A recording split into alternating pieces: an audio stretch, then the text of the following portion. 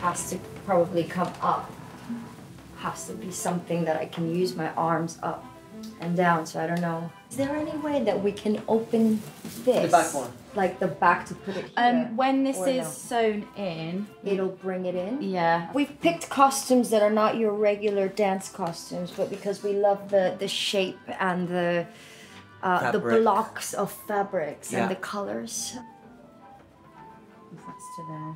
Mm-hmm. Yeah, cool. This is the most clothes you're gonna see me wearing. Oh, there it is. So it's your very, very risque, to go with but quite glamorous at the same time. He finished making it yesterday. Amazing. So that will be with us probably by tomorrow, and then the finale one will be next week. So that'll be the last thing to come Okay, in, cool. which is Sounds being good. made as well. Brilliant. All right, Cool. good work.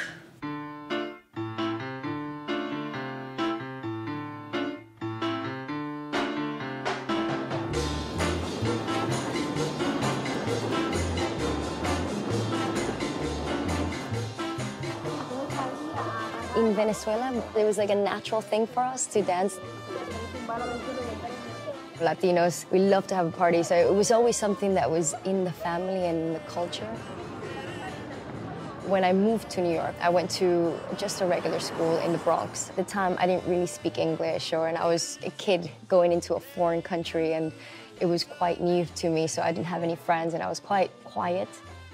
So what they did is that they put me into this dance program called Arts Connection. And it did help me. It gave me a structure, which helped me in my schoolwork, it helped me make friends, but also it gave me a path and it gave me a career that I never, ever thought that I would have.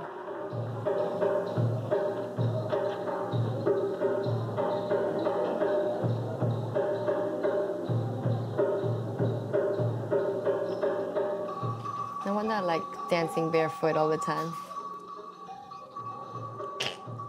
This is my favorite.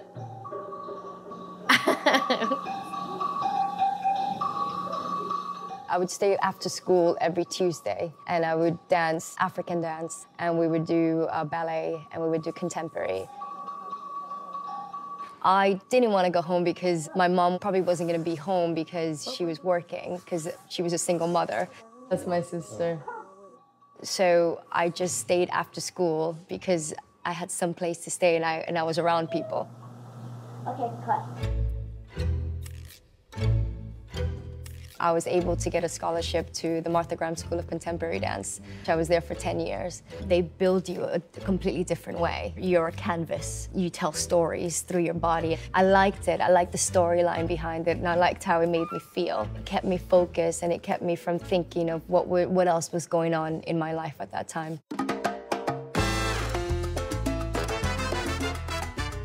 When I got older, one of the main things that I liked to do was so- go social dancing.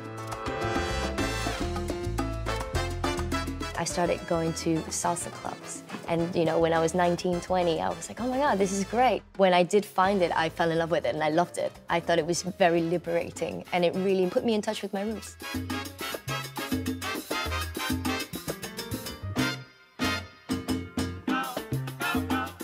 And then when I went into ballroom dancing Latin dance, it was definitely full on to be competing. And I competed for about 10 years and I was successful at it, but I wasn't happy with the way that I was dancing. So I, I soon stopped competing and went on to a completely different path. And I auditioned for So You Think You Can Dance in the States.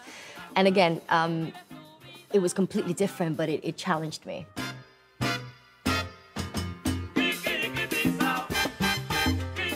And then obviously now that I, when I do Strictly, I'm doing Latin dancing, but I'm teaching it. And yes, it's a competition, but it's not really. It's about helping that person through that stage of learning and performing.